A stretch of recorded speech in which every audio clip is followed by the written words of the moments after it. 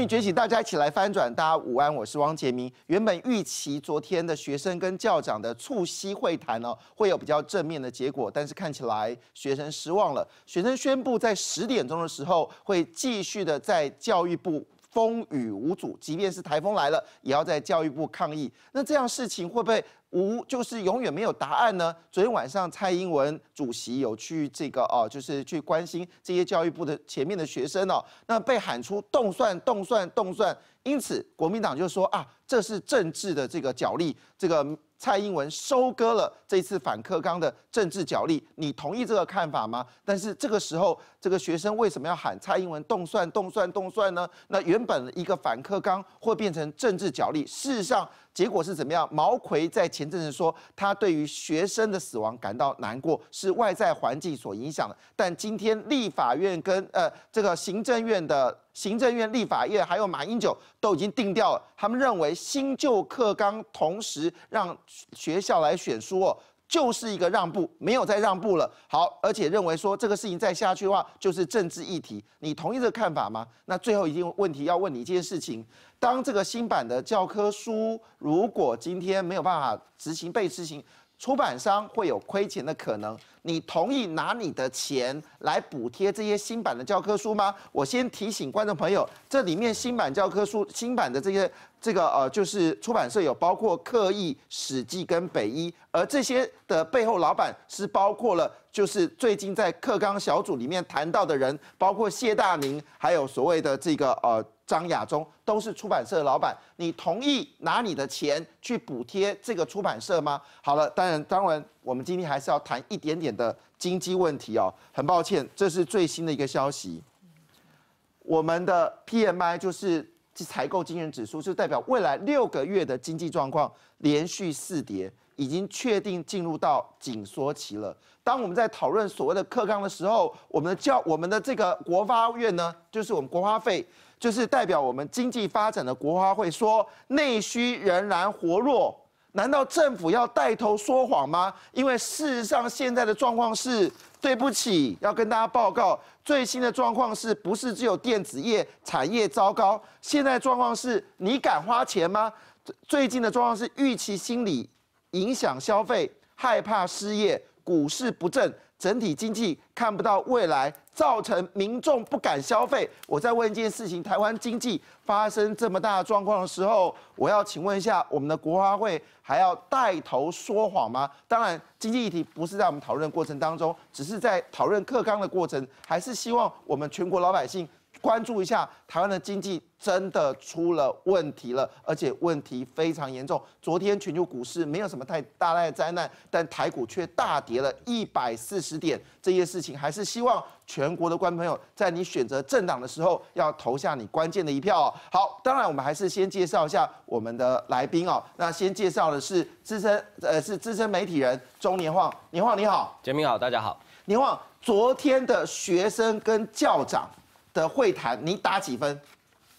你是给教育部长打分数吗？呃，整体的这个大家期待会有解决的状况。呃，我给教育部长打零分。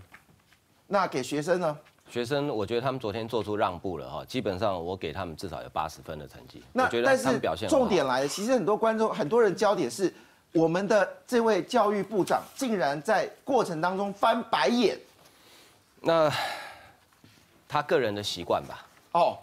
但但是这个过程是人家建议他你不要官僚哎，这时候他竟然翻白眼。官僚不是一天造成的啊。哦。他已经官僚那么久，怎么可能在那个时候不官僚呢？所以教育部长变成官僚了吗？等我们要讨论这个议题哦。另外就介绍我们像民党立委叶已经，已经你好。杰明好。已经委员现在是冒着风险来参加我们节目哦。为什么？因为现在立法还没有解除动员，现在是假假假动嘛？今天是假动。那目前有任何的结论吗？有，因为有这个结论，所以啊，我也赶快让观众朋友看一下，这是中午十二点的结论，就是连国民党也签字了啊，各党派都呃签字，是呃决议那个呃，不过这是这是立法院的协议啦，行政部门会不会遵守我们不知道啊，就是啊，高中课本呢，呃，这个。应该要马上进行审议，啊同意他们呃高中的呃课本马上进行课程审议，审议委员会马上召开哦，希望能够解决争议。那一百零四年度呢，就让呃各校去自由选书。所以会成立一个独立的审议小组来检视这些课纲的争议喽。呃，本来就有审议小组，那呃一百零四年他是用偷渡的，他是用临时动议，我们一直说的说他程序不合法的，呃，突然就自己呃短租短移，就自己去那里改了哈。所以我们现在给他一个呃有法源根据，也给他一个立法院的同意，就说你赶快去照程序啊去进行这个课纲的这个审议。好，所以看起来这个事情，现在立法院也做出个决定，希望教育部重新由所谓的已经成立的审议小组来审议课纲，同时两新旧课纲并行。好，这样的问题学生满意了吗？学生到目前为止还是围在教育部哦。那么这里又引发一个问题是，到底这个问题马英九态度是什么？所以我接下来介绍一下资深媒体人刚仁俊，仁俊你好，前面好，涛好。有人说这背后原因就是马英九的意志。当然，你如果看整个各课纲微调的这个案子，其实说实话，走到今天已经名存实亡了啊。教育部方面或者是国民党一直在强调说，这整个案子他们已经做到实质的让步，让到最后几乎已经没有可以让的空间，所以连这个所谓的撤回的这件事是真的的让无可让。我突然想到鲁迅所写的一本叫做《阿 Q 正传》啊，这里面有一个叫精神胜利法，你知道吗？当所有人都打着阿 Q 的时候，阿 Q 说：“哎呀，我终于被儿子给打了，这世界真是不像样。”但问题是呢，我们现在看到所有的态度里面呢，呃，教育部在这一次的课纲微调里面，确实违反了很多我们认为说原先课纲微调应该所做的做法。我待会。出示一些会议记录给大家看，完全可以证明，就是教育部在这整件事情上面就是乱。没错，这个问题我们等会要请教，因为我们今天也请到了国民党的议员跟国民党文传会副主委，我们来理性的讨论，到底在这个过程当中，教育部出了什么问题？或许教育部觉得他是对的，等我们来双方面来做一些讨论哦。当然，我们还是要介绍一下台北市议员黄珊珊，珊珊你好，吉明好，大家好。就克刚的问题，亲民党态度是什么？大人都搞不清楚的事情，不要为难孩子。那孩子现在教育部正在被为难，所以亲民党态度是怎样？政府的问题是要去解决问题，找出对策，不是制造对立。也就是说，发生争议的事情，政府在政策上路，或者是在政策政策形成之前，都尽量应该避免，要减少争议，而不是我们去制造了争议，然后不去减少争议，然后硬要上路，然后造成社会动荡。这个。刚刚好是相反，应该在形成政策之前就已经广纳百川，把大家意见都纳进来，就不会今天吵成这样嘛。好，等我们再讨论为什么会吵成这个样子呢？其实三三议员是呃法律的专家哦，等我们用法律的角度来看，最后结果会怎么样？另外就是要介绍一下很久没见到，在本节目很久没见到台北市议员王宏威，宏威你好。大家好，杰明太想念我了。哎，一点点哈。彭伟怎么办？现在国民党似乎现在的氛围对国民党是有一点生气。那国民党针对这样的事情，他怎么样把这个事情解决？是不是就是交给了教育部的审议小组，这个问题就可以稍微得到缓解了呢？我觉得今天呃，立法院最后的呃朝野协商，在某一个程度上。嗯，做了一些部分的解套，因为嗯，今天我们大家都关注在就是最后立法院会不会民进党强行要召开临时会啊？会不会要强迫嗯教育部行政院要接受这个立法院的一个决议？不过今天刚。呃，叶宜金委员也出示了最后的朝野协商，各政党的召集人、党编都签字了。是，也就是说，第一个，他当然希望教育部重开课审会。其实重开课审会什么意思呢？就是你对于这个课纲呢，再重新的做一个审议啊，就说你要不要再做一个修正。那另外第二个重点就是一百零四学年度，也就是八月一号新上路的这个新课纲，目前确实是维持一个所谓的新旧并行。是，那也就是由学校尊重学校自由。选书好，那我觉得在这样的一个可见，就说现在立法院跟教育部目前就行政院的态度，目前是趋于一致的。好，等我有两个问题要介绍问一下洪威，我还没介绍这个市委之前，我要请教一下宜金委员。所以现在已经经过这种所谓大家都已经有签字的一个状况之下，那还会再开会吗？还会再会开临时会吗？不会。呃。国民党倾向不开了，但是我们是希望说还是开。我们所以朝野协商的内容就直接就就是双方同意退回到行政院去了。呃，不要经过立法委员、立法院的吗？也可以这样啦，但是问题是我们觉得开临时会会比较好一点，就是我们还是可以就这一段时间的争议呢，还是很清楚的表达立法院的立场，也让行政部门知道你以后不可以这样。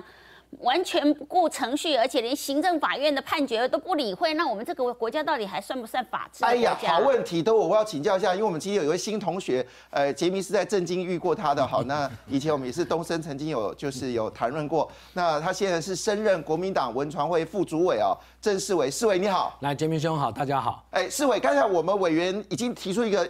议题说，既然大家都已经在朝野协商有共识了，那为什么国民党不决定开临时会嘞？就把这共识变成，当然还没有决议要不要开了。那比较国民党比较偏向是不开。那既然有一个临时。这个条款也叫教育部设审议小组，看起来应该不错啊。那为什么国民党就顺势就完成了？为什么不开嘞？我想针针对朱主席哦，他也有公开的一个宣誓哦，他也不排除我们立院能够开临时会，但是也希望都能够并行讨论中央组政府组织改造以及募兵制推动暂行。条例草案以及劳动基准法部分条文修正草案等等这一些民生的法案，但是这是主席代表党的立场，但是我们还是尊重立法院党团他们做成的一个决议。好问题，我补充一下，我刚才看到苹果的即时，我刚看到其他的即时，就是立法院已经决定不开临时会，已经决定不开了，就是朝野协商，最后就是建议启动课审会来重新检讨课。就是立法院对国。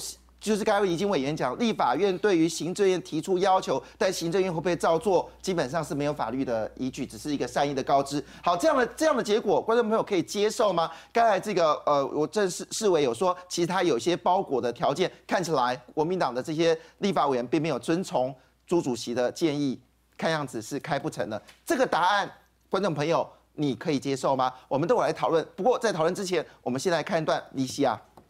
事实上，我们一直有非常有诚意，想要解决这件事情，想要和这些政府官员对话。说到昨天跟教育部长吴思华谈话破局，难掩一脸失望。学生代表廖从伦也提出如今的两点诉求：，说国民党在这样的党党团会议中表决参与临时会，表决参与谈话会，那第或者是。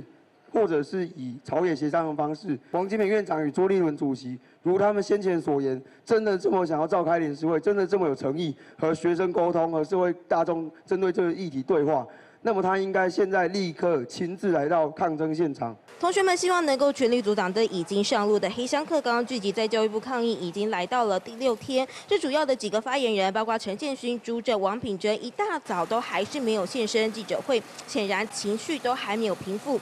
现在网络上也出现了一波反反克刚的民众说要到场呛香。这个社会上本来就是各种不同的声音都会有。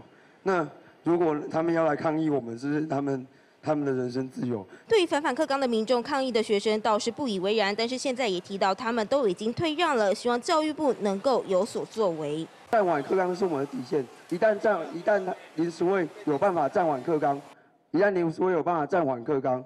那么我们就会开始考虑撤出教育部的广场。虽然国民党团已经表决让临时会破局，学生们也说会死守在教育部。至于下一步该怎么走，还在讨论。记者吴振宇、陈怡玲，S N G 小组台北采访报道。好问题，下一步该怎么走呢？长期关心，呃，也是亲自跟这些学生有过对谈的年晃，在我们线上哦，呃，在我们的呃，就是来来做我们的来宾哦，哎，年晃哦，那下一步该怎么走？现在学生说，这个情况之下，如果继续的占领下去的话，哎，双方没有交集耶。对，现在看起来，呃，是火车对撞哦。那今天我看的新闻说，吴思华在国民党党团大会里面曾经两度表达辞意。但是呃，也没有人出来证实说是有还是没有那所以这个过程里面，我看到的是，呃，我们的教育部从一开始在这一波的所谓的一零三课纲，他就没有照他自己固定的作业要点来做啊，然后一路这样走过来，现在造成这么多学生抗议。我觉得今天立法院如果能开临 临时会最好，但确定不开了，对。那不开临时会的话，虽然朝野协商有达成这个共识哈，那我的研判了哈，如果在朝野协商大家都签字的情况下，呃，我认为教育部应该应该还不至于不遵守朝野协商的结论。我认为啊，我认为哈，那如果教育部真的最后还是不遵守，那那恐怕掀起的风波就更大了。因为虽然说朝野协商的结论它不等于。呃，院会议决的决议啊，这个法律效力上有差，但是事实上，我觉得这是因为国民党团如果说他坚持不开临时会，那现在临时会也确定不能开了哈。那这个也不失为一个解决的方式之一，就是大家呃，也许各退一步吧，这是一个政政治解决的方法，就大家各退一步嘛。好，那你也你也可以，我也给你一个方法来解决这个问题，就是重审重开课审会嘛。哦，好，那现在问题来了，今天朝野协商留了一个尾巴，那就是那现在这个课纲能不能继续推？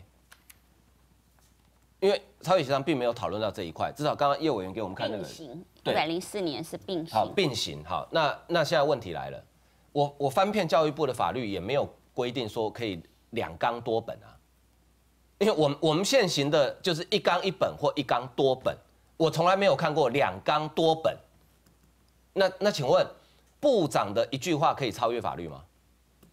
就你你要变形可以，你给我你给我法律基础，现在已经是马总统已经定调，就是要两纲多本。对，毛奎也定调了，对就是两纲多本。对他说他也说这个是一个假议题，不要再谈了。可所以已经是从马总统到行政院长到教育部长都定调了。可是法律在哪里？法律在哪里？你你教育部长教育部把法律拿出来给我们看嘛？因为现行的制度就是一纲一本或一纲多本，他没有两纲多本这个这个这个制度嘛？那我知道还是年晃的意思啊对，还是总统可以超越。我的意思就是，我怕这是一个又是一个骗局啊。他跟你讲说现在新旧并行，到时候跟你讲说啊没有，因为我们的法我们的制度我们的法律规定只能一纲多本，所以这个旧的就没用了。你今天你要两你要并行，你要并行，那请你把你的法律基础拿出来，就是到底我们现在的教育制度是可以一纲多本、一纲一本、两纲多本，你把制度拿出来给我们看。好，我在请教任俊跟怡金委员之前，我先请教洪威。洪威现在状况已经变成是两件事，第一件事情是你退回到教育部做课审的，重新召集课审小组来再审视这里面有没有这个啊，就是争议，这是第一个。第二个呢，就是新旧并行，这样子就解决这个问题了。但新旧并行又有个问题，教育部似乎没有多光多本的这个呃之前的法律依据啊，那不是变得是说，哎，没有法律依据。立法院也做了一个决议，而马总统这个决议是不是有抵触呢？我我因为刚刚年晃谈到这个，我赶快我想就想要补充解释一下，因为我自己可能因为小孩生的太多，生了三个小孩子，所以我对于我们的一些教育政策哈，我我比较关心。过去一纲多本呢、呃，为什么要实行一纲多本？那时候就是呃，大家非常、呃、有些争议，就是担心说所谓多本多本教科书，那是说哎孩子要念多少本呐、因为怕考试问题龙斌就。说一纲一本，不，这对这不是郝龙斌问问题。那回到一纲多本，当时有一个重要的，因为我们常常教材是跟考试是结合在一起所以呢，有一个非常重要的政策就是考纲不考本。考纲不考本，所以大家不要紧张，因为为什么要多本呢？就说要让我们的教育变得多元哈，所以考纲不考本，一纲多本。好，那现在大家就说，那现在既然新旧并行，怎么会出现两纲呢？没有错，我们原来的我们原来教科书的原则是一纲多本，但是我们现在出现两纲，必须要说，就在这次的反课纲的行动里面，因为出现了很多政治力的介入。刚刚讲说这样会不会是一场骗局？怎么会是骗局呢？到现在为止，民进党十三个县市，哈，这个已经是执行了。十三个县市就说我不尊重你教育部的那个呃课纲，我采行旧课纲。也就是说，现在是地方已经是抗争中央了，就是在今天立法院做成这个朝野协商之前，民进党的执政县市就已经说我采行旧课纲，我不采行新课纲。那比如说以台北市来说，那台北市呢，就基本上是说新旧并行，台北市也属于新旧并行，等于说尊重，就是说如果你学校呢，学校也有选书的委员会啊，老师也也可以有选书的一个自主权。如果老师呢决定学校老师说决定我选择新课纲，那台北市政府也说我尊重，所以哈以台北市来讲就是一个新旧并行。所以现在讲说所谓的新旧并行是不是骗局？绝对不是骗局。如果是骗局的话，那所谓十三个县市，民进党十三个县市就在在骗人了嘛？因为他现在目前为止我所知道，他们就选选择旧课纲。好，这个这个是非常重哎，要。洪威，你问到一个重点了，太经典了。但学校呃，政府是说，教育部是说，好了好了，就由老师决定嘛。那既然是老师决定的话，那各县市的局长可以代替老师来做决定吗？不行，我我我要我要讲就说哈，本来这个课纲本来是确实课纲确定了之后，那么就是应该要选择新课纲。所以，呃，我知道有一些呃，包含媒体人或者一些民意代表拿出来说，你看你们教育部全部都是骗人，因为教育部发函在之前，很多学校去问教育部，愿意也大家很 confused，你知道吗？这次其实学校跟老师也被整得很惨呐，因为他会说，哎。过去教育部只要是确定新课纲的时候呢，那么选书就是用新课纲。可是呢，在这个整个争议里面，我们的现实首长告诉我们，我们还是用旧课纲。所以有些学校会担心说，那我到底应该选择新课纲还是旧课纲呢？所以呢，有些就会会去发函给教育部，想询问说，那我到底可不可以是到底应该要要怎么样的执行？那么原来教育部的说法，我。原来教因为我们原来的课纲确实新课纲定定之下之后呢，就是采行新课纲，所以有一些公文发出去的时候，就说还是要求采行新课纲。那我要讲就说到现在为止，教育部也就是行政院现在定调就是新旧并行，也就是说现在各学校我不晓得各县市状况怎么样。我刚刚讲的台北市，台北市基本上呢是采取旧课纲，但是如果学校的这个选书委员会。决定你要选择新课纲的话，那台北市就就尊重。那但是有些县市呢，已经是通函就说我们是选取旧课纲。那所以。以现在来说的话，也就是按照今天立法院的决议，跟目前现在实际状况是吻合了，也就是是新旧并行。所以我要讲的就是说，即便在呃昨天，大家可能觉得那一场沟通，觉得呃吴思华华非常官僚，完全都没有让步，因为课纲是一个很复杂的事情。但是就我来看，就是在昨天确实呃教育部第一个就是新旧并行，还有一个比较重要的一个决议就是。原来，因为他不是八月一号我已经上路了吗？然后那学校已经选书了。那如果说这个教材都印了，那我现在没有办法改。可是呢，现在教育部呢也宣布，也我这这个部分我没有办法完全确定，因为我一直看媒体啊，他他他啊媒体报道是说，教育部说如果学校是选择新的教材，但是我现在决定我要改回旧教材啊，改成旧课纲。所以这一部分呢，就说你要换书的这个这些的经费成本由教育部来补助。这个问题我们要好好讨论。我我的意思说，老实说，我相信有很多人会质疑说，那你今天补助是从你吴思华口袋里掏出来吗？就洪伟洪伟这部分，我们等会可以讨论。这个问题是个大议题，我们等会要讨论。但是我要问一下怡金委员，刚才其实红伟讲的一个重点，考纲不考本，那现在两纲多本，那那一般乱考。好，那教育部是说，我再补充一下。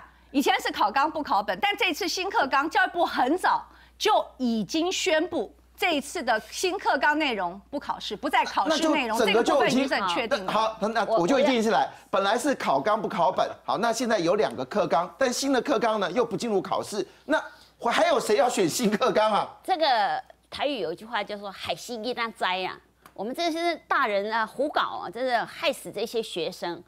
我可以理解年晃他的质疑。你今天说新旧并行，好，那新旧并行又在这个呃，我们说这个政党轮替的一个关键，好好假设啦，明年。蔡英文当选，然后我们就改。那改的时候，他们说：“哎，不行，我们还是要并行，这个没完没了了，就这样并行下去。”假设又有一天国民党又执政了，他又要改的时候，我们民进党也一样啊，不行，我还是要并行啊。会不会？啊，一定是这样的嘛，这个此例一开。但是呢，我认为这样也没有关系了。为什么？历史真相只有一个嘛，哈，只有一个嘛。这让我们的小孩可以新旧并行。比如说，刚刚洪威说我们呃台南民党执政了，就会用旧课纲啊。对不起，还是只有四所市立高中，只有四所，其他这个教育部直属的国立高中呢，他就会用新新课纲。那所以到时候考你是要考哪一本都没有关系，但是你要考要考试委员你要小心哦，你考出来大家写的答案不一样的时候。真相是什么才是真的答案？我再重述一遍，这个这次的新课纲，教育部他宣布说不会进入考试，不会成为考试的题目。那如果违反的话，没有这个没有没有这个说不考的，没有什么不可以考的。所以现在我们已经有一个争议喽。洪威说教育部已经说不会考了，但是真的还是要把它但是应该不要考。但是已经说真的会这样吗？到时候这个去考了怎么办呢？好了，所以一个一个单纯问题就是问大家一个问题：如果考纲不考本？你的新课纲不入到考试，那要这个新课纲干嘛？这是第一点。第二点，万一教育部最后决定事情是嘴巴上面说我不考，但最后进入考题会怎么办？当然，刚才我们年俊说，任俊说，他教育部有三个重要的档案来证明这过程当中让学生跟家长非常不安，到底是什么？当然，广告之后你知道吗？有人到教育部前面去冲撞学生了。我们等会一进到广告之后，我们来看到底发生什么事情。我们先进个广告。